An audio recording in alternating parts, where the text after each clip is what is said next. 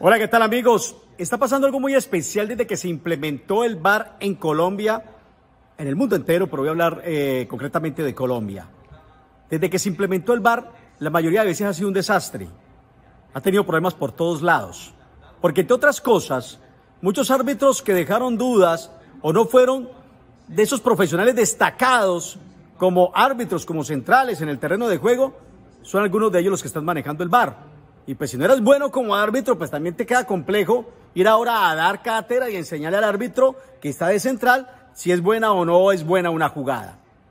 Y hay algo más que llama la atención.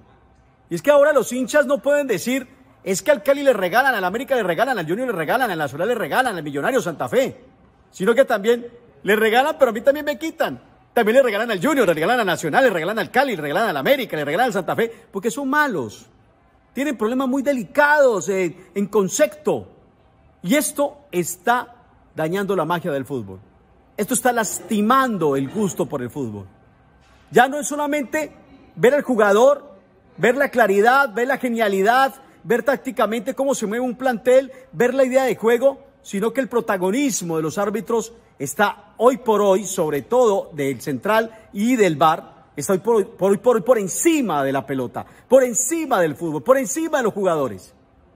Y lo lógico es que tanto el árbitro como el VAR sean simplemente otros espectadores más, que sirvan para pitar lo básico, lo necesario, no para estar comprometidos en jugadas que son totalmente reales, visibles, que están cometiendo un error.